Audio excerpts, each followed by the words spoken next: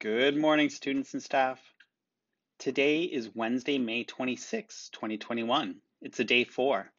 Please stand and listen to our national anthem, followed by a moment of silent reflection.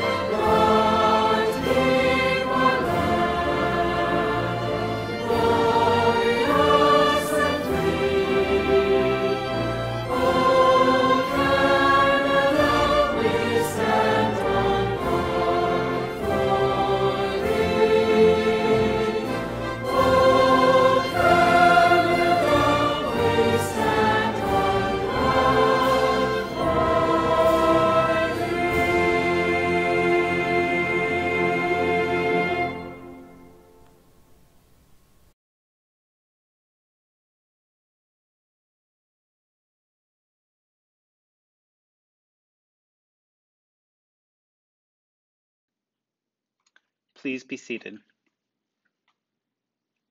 We'd like to start by acknowledging that we're on the traditional territories of the Wendat, the Haudenosaunee, and the Anishinaabe peoples whose presence here continues to this day. We would also like to acknowledge that this is the treaty lands of the First Nations of the Williams Treaty and thank them and other Indigenous peoples for sharing this land with us. We'd also like to acknowledge the Chippewas of Georgina Island First Nation as our closest Indigenous community and our partners in education. We acknowledge this land and the people because the first step to reconciliation is recognizing the existence of Indigenous people.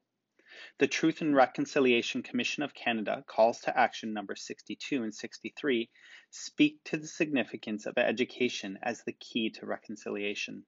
A shared understanding of how our collective past brought us to where we are today will help us walk into a better future.